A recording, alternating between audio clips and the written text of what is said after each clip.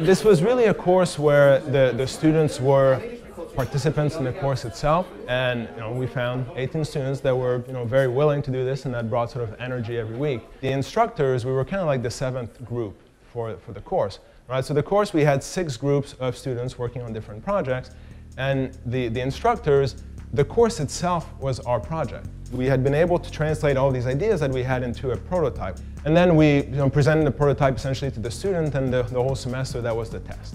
What we asked the students to do this semester we, we have these community partners. You're going to go and meet these people and they're going to present you with a problem. It's going to be a problem that's not necessarily has an obvious solution. Right, so now your job is to understand what it is is being asked of you, why they're asking you this, what are their motivations, and hopefully through this, sort of get a deeper understanding of the problem, maybe expand on what's being asked, and when you're creating a design, do it as creatively as possible.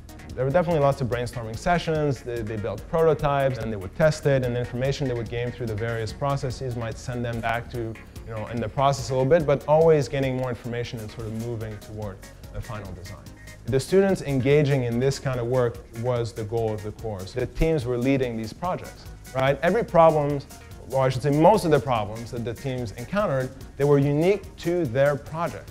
And so they had to come up with solutions that were also unique to them, and they had to find their own way of sort of moving past these obstacles.